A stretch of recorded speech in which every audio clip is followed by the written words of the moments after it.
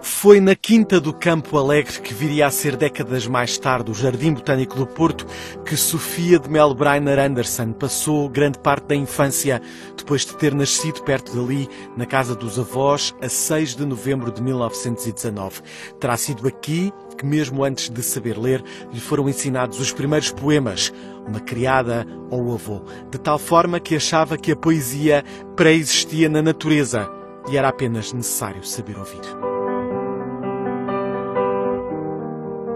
O nome Anderson denuncia a origem nórdica dinamarquesa através do bisavô, um aventureiro que se dedicou ao comércio do vinho do Porto e cuja descendência se uniu à da velha aristocracia portuguesa ainda no tempo da monarquia, através da mãe.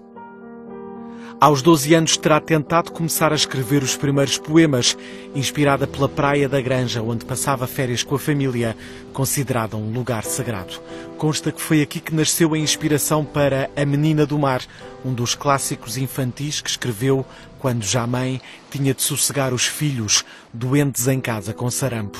Antes fez filologia clássica em Lisboa, colaborou em revistas de poesia, travou amizade entre os poetas, casou com um jornalista e também advogado, Francisco Sousa Tavares, um ano depois do final da Segunda Grande Guerra. Filhos teve cinco. A partir dos anos 40 não mais abandona a escrita. Poesia primeiro, mas também ensaio, contos, contos infantis, tradução de Eurípides a Dante e a Shakespeare e até ao teatro. Cinco peças, todas posteriores aos anos 90. Os prémios acompanharam-na, desde logo em 1964, o de Poesia da Sociedade Portuguesa de Escritores, da Gulbenkian, o Camões em 99, sendo que foi a primeira mulher a recebê-lo, o Prémio Rainha Sofia, no ano antes da sua morte. Na obra destaca-se a claridade, a natureza com destaque para o mar, a cidade, o tempo e a referência clássica da Grécia Antiga.